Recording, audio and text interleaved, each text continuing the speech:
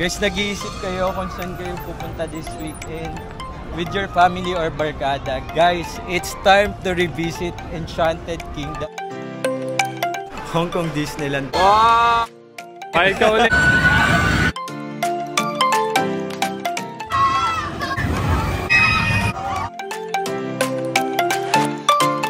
Hi guys! Welcome back sa channel and for today's vlog, nandito tayo sa Disneyland ng Pilipinas, ang Enchanted Kingdom! So guys, for today's video, nandito tayo dahil may company outing tayo dito sa Enchanted Kingdom. So samahan nyo ako, itry yung mga rides nila and tingnan na rin kung ano yung ine-expect natin dito sa Enchanted Kingdom. Actually guys, first time ko to and I hope sana mag-enjoy talaga tayo.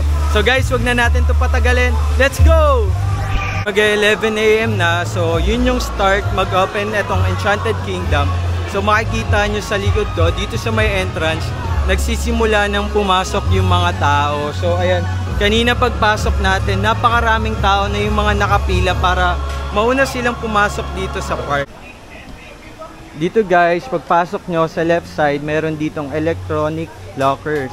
So, pwede kayong mag-iwan ng mga gamit nyo dyan. Very convenient to kapag mag-iiwan kayo ng mga gamit nyo. 200 pesos kapag small, pag mga ganito.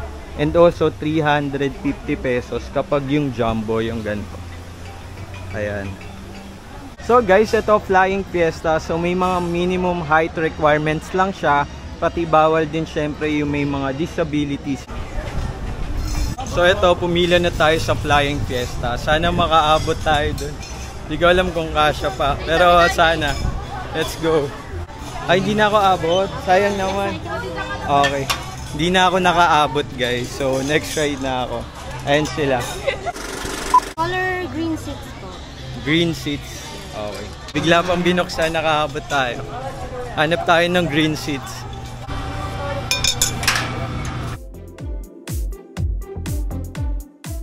Kakatapos lang natin sumakay dito sa Flying Fiesta and masaya naman siya. Medyo nahilo lang ako and yung ride, hindi naman siya matagal. Marang mga 1 minute lang iikot kayo tapos ibababa na din kayo agad. Overall, 10 out of 10 to sa akin.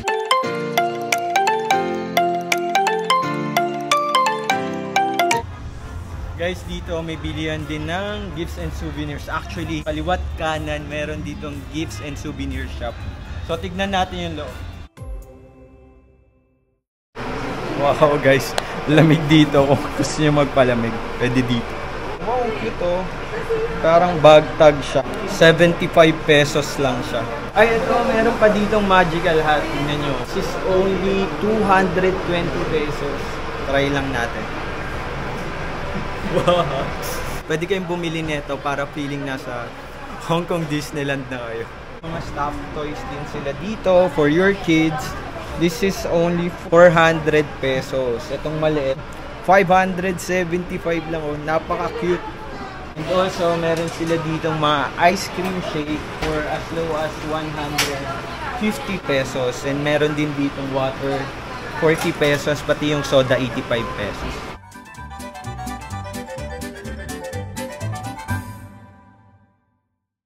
Guys, nasa likod natin yung Rialto. So, sobrang picture perfect spot siya dito sa Enchanted Kingdom. So, alam ko naman lahat kayo familiar dito.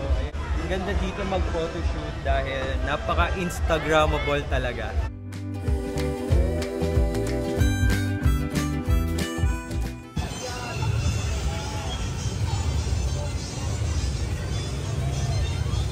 Guys, kasama natin yung kulig ko na si Angela. Sobrang saya po. Experience ko sa space shuttle. Sobrang, grabe. Sobrang nahilo ko pagbaba. Thank you. Is nasa likod natin ng Wheel of Fate dito eh, sa Enchanted Kingdom. So basically, isa siyang Ferris wheel. So ayan guys, oh, napakataas niya. Guys, medyo nagutom ako kaya bumili ako ng favorite ko dito, yung Auntie Anne. So 140 pesos lang siya. So ito ay chocolate flavor. Ito, wow. Gugutumin ko muna kayo. Kakain muna tayo bago tayo maglibot ulit. Sarap. Favorite ko talaga to.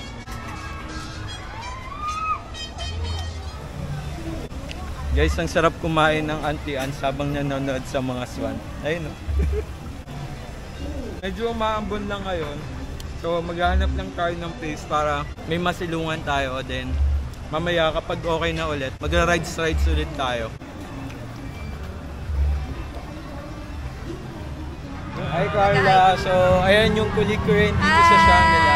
Hi! Kamusta yung experience mo dito? Ayun, kasama yung family niya. Hello po! Kamusta yung experience mo dito? Ayos naman, so far, nakaka-enjoy. Ang dami namin na-try na rides. Kahit ako kanina parang hilong-hilo ka. Ay. Pag mo na yun masyadong detailed. Thank you po. Ingat po kayo. Bye, bro! Guys, ito yung mga boat boat ride na sarado ngayon. So maririnig nyo, nag-a-announce sila ng mga safety guidelines kasi umaambon. So, hintayin ulit natin umupa yung ambon or ulan. Tapos mamaya magiging okay na ulit yan.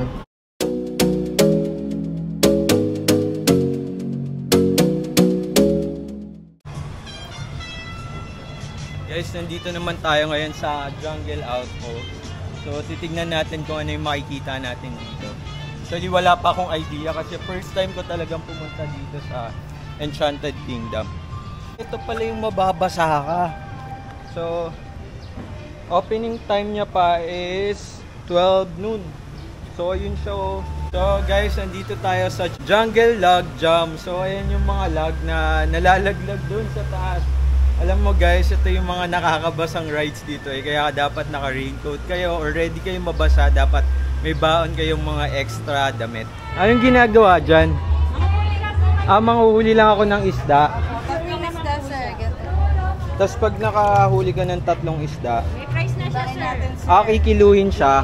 Tapos yung kilo niya, Depende po depende sa price. Ah, okay. Kailangan mabigat po yung tatlong isda. Ah, mamimili ka na mabigat.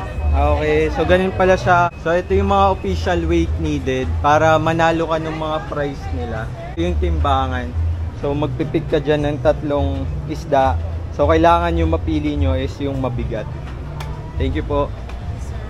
Ano pong tawag sa game na yan? Ito po yung Wacky Wizard. Wacky Wizard. Yes po. So, dapat hindi madidikit yung ano ko dyan. Yung, Yung...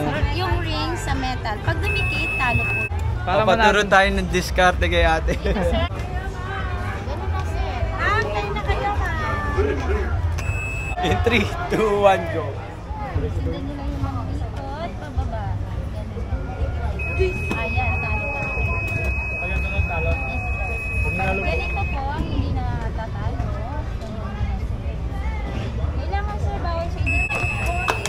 Wala lang yun ah.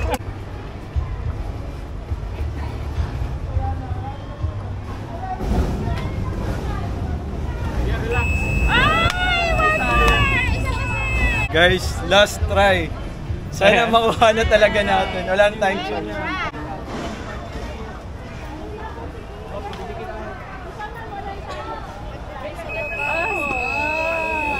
Wala na. Sana. Better luck next time. Bye ka ulit. Hi! Hi, vlog! Guys, nandito tayo sa Rintos. Tapos itatry natin siya. So, for every 100 pesos, may 15 rings kayo. And dapat, makashoot kayo ng isang ring dun sa mga bottle. Tapos, any price yung pwede nyo makuha dito. So, try na natin siya. Hindi yung epekto yung nasa gitna. Try ko yung nandito sa kanto. Last 5 rings na lang. Sana makuha na natin yung swerte natin. Sayang! Guys, so try tayo dito sa Space Shuttle. Ah. Nandito tayo sa pila ng Space Shuttle.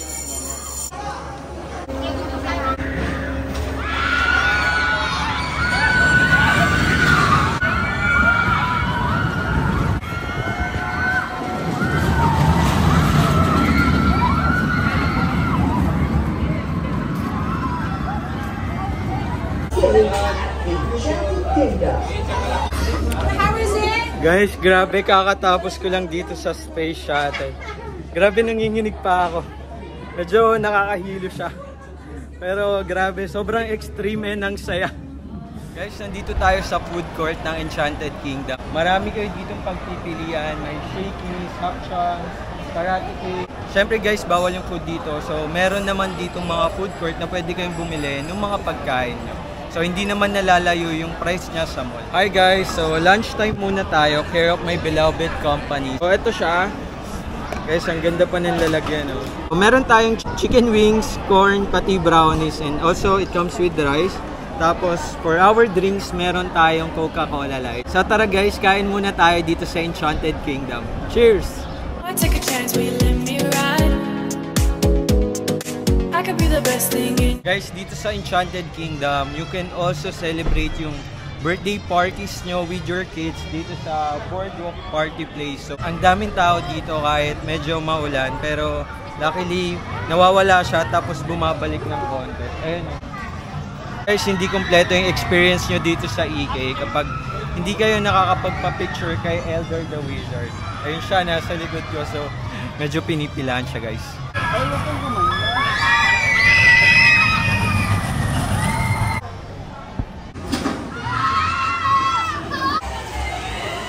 Guys, nasa likod tayo ng bomb car. So, hindi lang tayo makasakay ngayon kasi medyo mahaba yung pila. So, nakikita nyo naman.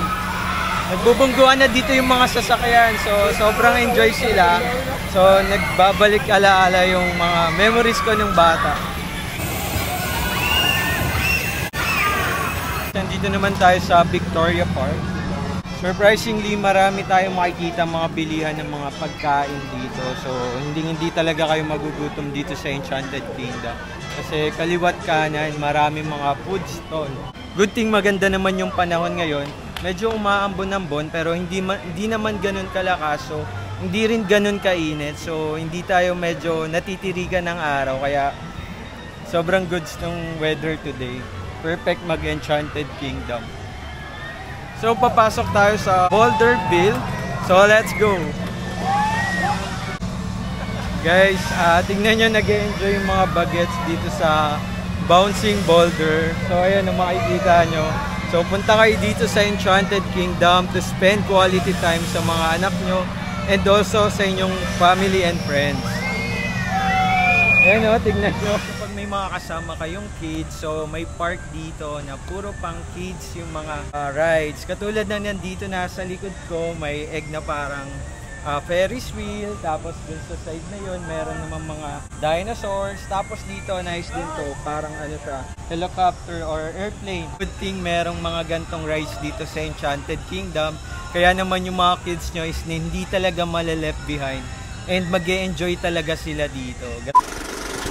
The good thing about Enchanted Kingdom guys, meron silang K Express Shuttle. So, lalo na kung nagpa-plan kayo dito pumunta sa Enchanted Kingdom at wala kayong sariling sasakyan, pinadali na ng Enchanted Kingdom ito para sa inyo. Meron sila dito mga EK Express Shuttle packages. So, for only 1,400, meron na silang round trip bus transfer plus regular day pass.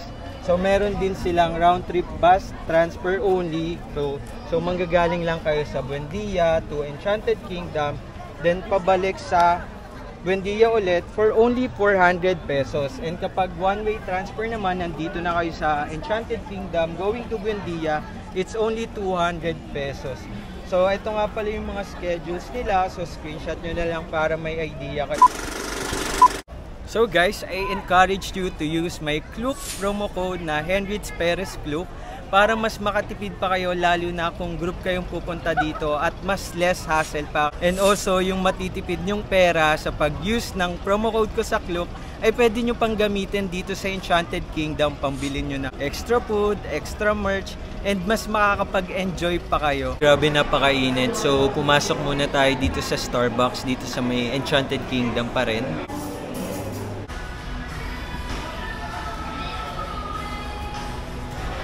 So guys, pupunta na ulit tayo dun sa loob ng Enchanted Kingdom. Nagpalamig lang tayo konti dito sa Starbucks. Cheers! So guys, ayan may stamp tayo na invisible. So ayan yung i-detect sa atin kapag magre-entry tayo dito sa Enchanted Kingdom. Tara na! Guys, suot nga pala natin itong ate eyewear na binili natin sa Quiapo, Manila. So kung hindi nyo pa napapanood yung vlog ko, panoorin nyo na dahil murang-mura ang pagpapagawa ng mga salamin dun sa KMC Eyewear Shop. So nakikita nyo naman, napakaganda ng eyewear ko. Napaka-stylish, pati may transition pa siya na color green kapag tumapat kayo sa araw. Itong nasa likod ko, yung Disco Magic. So, makikita nyo, pinapaikot-ikot sila sa parang di- disco something, tapos nagsiswing siyang gano'n. So, medyo nakakahilo yung ride, pero definitely mag enjoy kayo kasi nakita ko din sa mga sumakay na masaya naman talaga sila. Sir Randy, gusto lang kitang interviewin. Kamusta yung ano, experience mo dito sa Disco Ball? Um, nag-enjoy naman at uh, medyo na-nervous lang talaga. Nakakahilo ba? Lakasan na lang. Lakas ng loob. Thank you, sir. Thank, you. Bye. Kumusta? Ano yung okay lang. experience niyo? Parang hinahagis sa Hinahagis. Thank you. Patalikod. Okay. Ingat, thank you. Guys, yung nasa likod ko is tinatawag na twin spin. So, parang roller coaster ride siya na iniikot-ikot pa kayo. So, isipin nyo na lang kung paano kayo mahihilo dyan. So, ayan, makikita nyo ang haba ng pila dito dahil mukhang hotspot siya dito sa Enchanted Kingdom. So nakita ko din ulit dito yung kulig ko na si Kat. So nag-Agila experience sila. Kamusta? Ano yung experience sa? Okay, okay siya, very educational about the Philippines. About the Philippines. So anong gagawin doon? Uupo lang kayo or Um, upo ka lang and then yung seats automated siya. tapos So, parang Um, kaya 3D? siya tinawag na Agila kasi parang Agila. Tapos ililipod ka niya sa mga ano, Tourist tourist spots, spots. in the Philippines. Oh, nice. So very interesting pati educational for students. Thank you, Kat. Hi ka naman sa mga ano, subscribers. Subscribe kayo kay Henriette. Thank you. Ingat.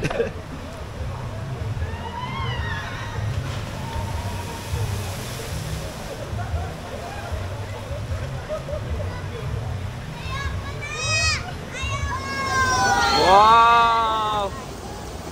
Guys, grabe. Makikita nyo naman, basang-basa pa ako dito sa Jungle Log Jump. So, akala ko kanina, yung unang binabahan namin is yun na yun. Pero, makikita nyo doon, meron pa siyang mas mataas. So, grabe. Basang-basa talaga ako. Even ata may raincoat, yung basa pupunta pa rin sa mata mo. Pero so far, ito yung pinakagusto kong ride dito sa Enchanted Kingdom. So, you must try this one. Jungle Log Jump. Super! 10 out of 10. Dito naman makikita natin yung good pagbaba natin, yung mga mga photos dun sa ating experience sa ride. So, let's see kung mayroon tayo. So guys, unfortunately, may picture tayo kaso madilim so hindi na natin siya kinuha pero pag mag-avail kayo ng mga photos, kuha dito, ah, 300 pesos only lang siya.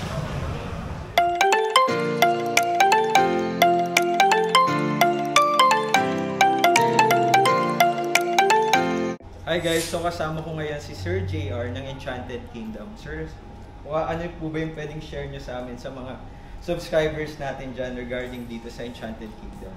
Yes sir, ito mer meron tayo dito Experience the Magic Card of Enchanted Kingdom. This is the loyalty card ni EK that allows guests to enter the park for one whole year of unlimited admission. Ibig sabihin, anytime na gusto nila pumunta sa Enchanted Kingdom, wala na silang babayarang ticket plus naka-express lane pa sila sa lahat ng rides and attractions inside the park. So, normally sir, magkano yung rate natin para dyan? Ang regular ticket rate ng uh, Magic Card natin is 3,800. 3,800. Pero meron tayong uh, 2.8 at 1.7. Kapag ikaw pumunta na sa Enchanted Kingdom, Okay, may sir. ticket ka na, Opo. at gusto mong i-upgrade yung regular day pass mo to Magic Card, So, pwede, possible yes, siya. pwedeng pwede.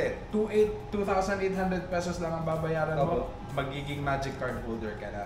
Okay. Ganun lang kadali. Mag-add ka lang yung 2,800, then ma-upgrade na to Magic one- Card. Magic Card, which is one, year, pass. One year pass. sa EK. Okay. And Yes, then meron naman tayo 1,700 kapag ikaw naman ay naka-express one day pass na sa EK Okay, at sir. gusto mong i-upgrade into Magic Card, 1,700 na lang, may one year pass ka na.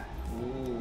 So guys, alam nyo ba, na sobrang gandang deal na yung gantong unlimited pass ng Enchanted Kingdom dahil lalo na kung may mga kids kang kasama or di kaya may mga anak pang bata, every time na gusto nilang o gusto mo silang ilabas every weekend, I highly recommend na pumunta kayo dito sa Enchanted Kingdom dahil uh, almost one and a half hour away lang siya from Manila. And also they provide yung EK shuttle from Buendia to to Enchanted Kingdom for Back and only forth. uh, back and forth for only 400 pesos lang. So sobrang convenient na nung ginawa ng Enchanted Kingdom na EK shuttle na yon. Anything to answer? And hindi lang yon sir.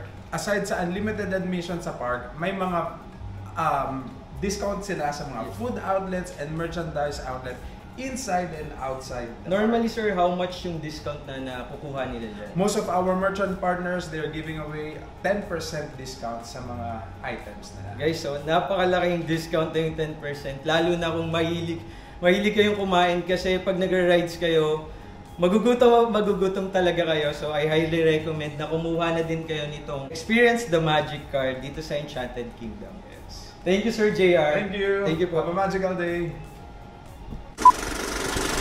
Guys, I highly recommend na pumunta kayo dito sa Enchanted Kingdom dahil mag enjoy talaga kayo. And also, please use my Klook code Hendrits Perez for your extra, extra discount. So don't forget to like and subscribe and click the notification bell para updated kayo sa ating mga happenings. See you guys on my next vlog. Bye!